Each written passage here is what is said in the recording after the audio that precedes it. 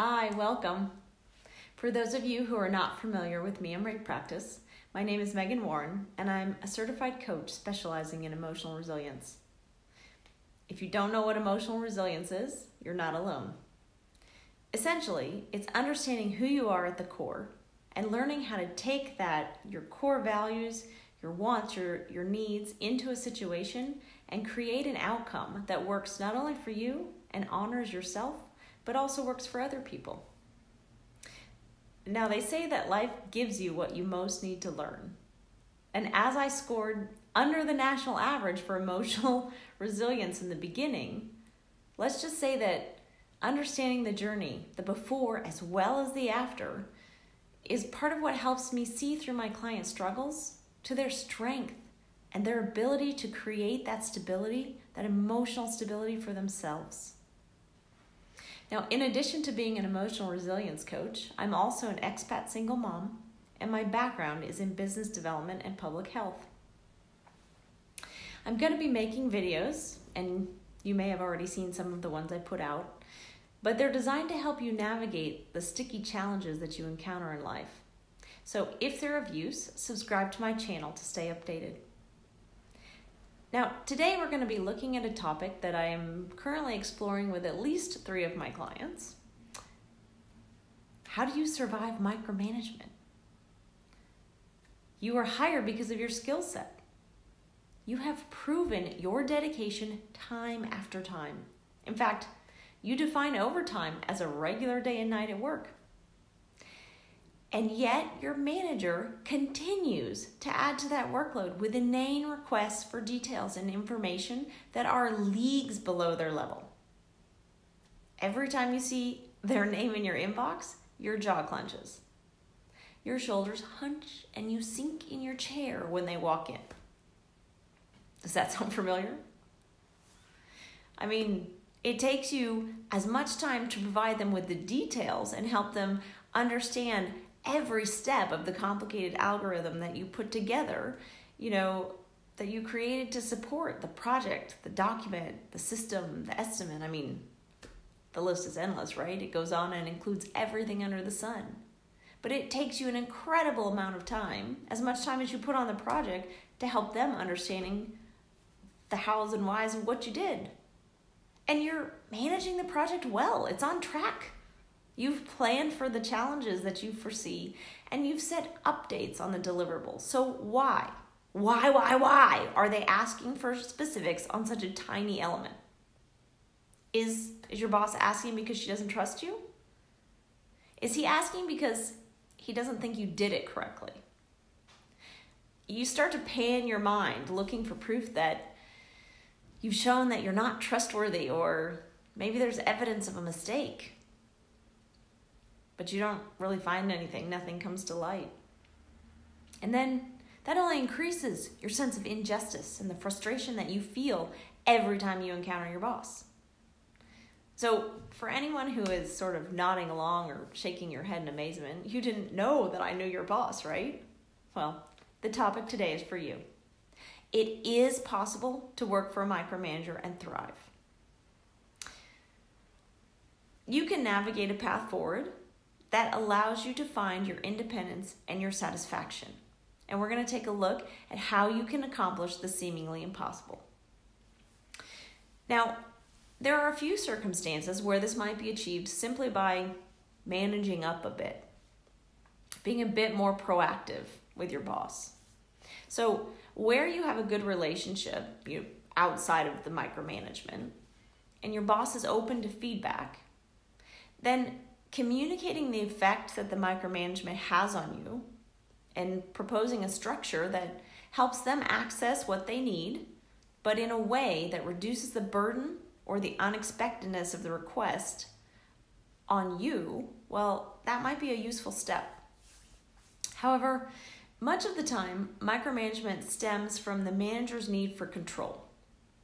And when this is the case, managing up really is not the most effective option because the manager isn't open to collaboratively designing a system that fulfills your needs as well as theirs.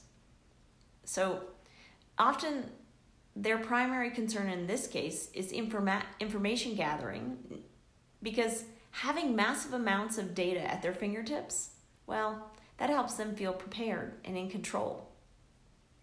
Now, at times, proactively feeding them massive amounts of information, well, that only feeds the demon that demands data to maintain the high. So, where the micromanager is not open to understanding the impact of their requests or willing to adhere to a system that, you know, something that you've proposed, well, it's likely that they feel the need to command power over others and over situations. Brene Brown has a great podcast. And in this podcast, she differentiates leaders who leverage power power over from leaders who who convey power to, power within, and power with. And micromanagers are leaders who use power over others and over situations to feel as if they are in control of external realities. And it's understanding this need for control that's going to help you navigate a relationship in such a way that it empowers you to thrive under the micromanager.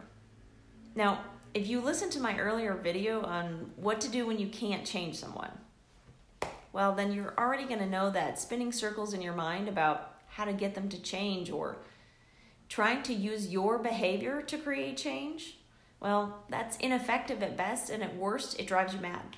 It's going to drive you to drink. so instead of focusing on how they should and how they need to change, maybe asking yourself, what is it in their life that made this behavior the best choice for them right now?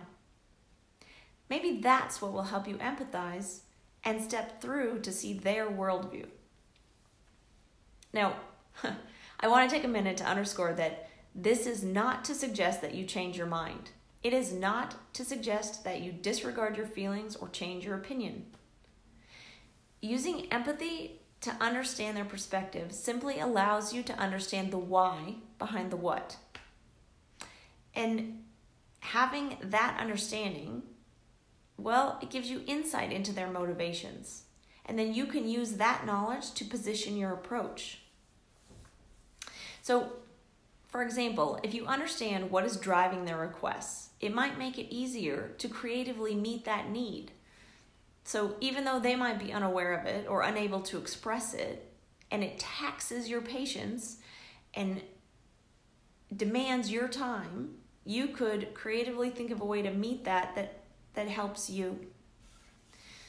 You know, additionally, understanding their needs and seeing them in 3D, right? So not only as your manager, but also as a as a mother, a brother, a child, with all of the worries and the you know, they got in the same fights and they have aches and pains when they wake up that you do.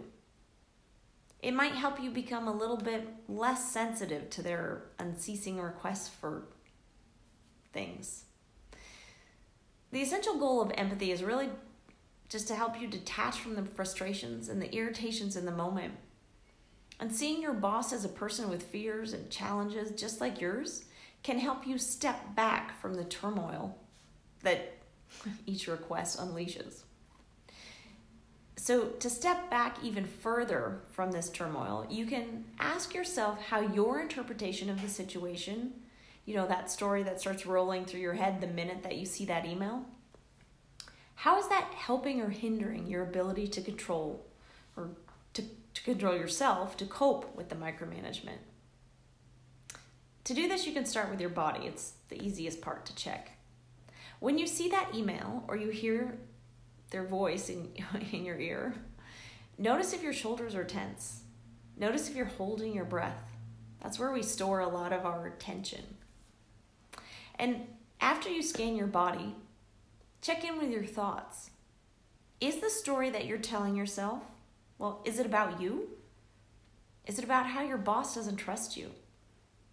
How she doesn't think that you're doing a good job?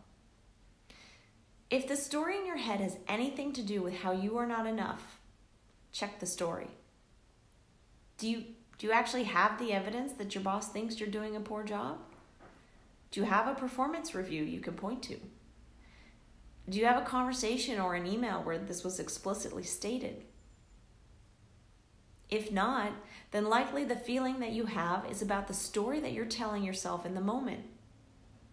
It's based on a feeling rather than facts. And if you're not basing the story on facts and evidence, then take a moment to pause and to breathe.